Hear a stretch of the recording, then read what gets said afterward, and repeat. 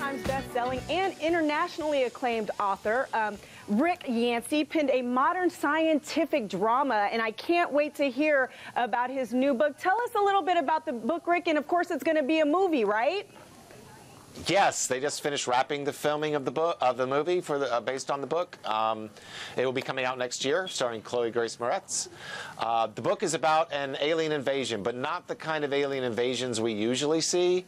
Um, and that was kind of one of the reasons I wrote the book was um, uh, the way we like to imagine aliens attack us is probably not the way they would actually attack us if they if they came.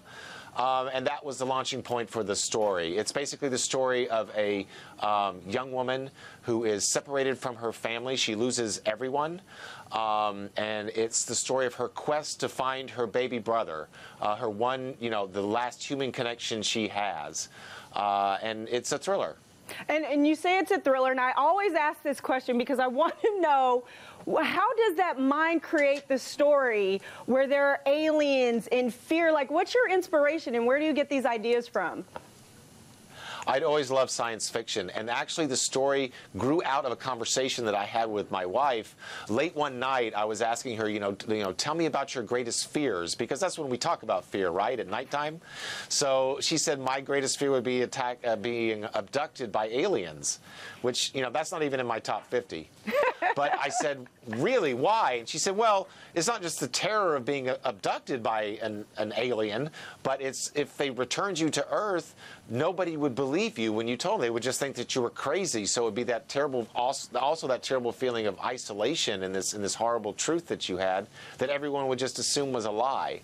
So that kind of dovetailed with my love of science fiction, and I thought, you know, instead of you know writing just another story of you know the kind of alien invasion that we like to imagine, what if I wrote an alien invasion that would most you know likely happen if it did? And that's kind of like where the story came from, how it evolved. Well, I like it. And listen, I can imagine as you're writing um, a book like this, you're thinking maybe in the back of your mind, how would this work if it were a movie? Does that go through your head?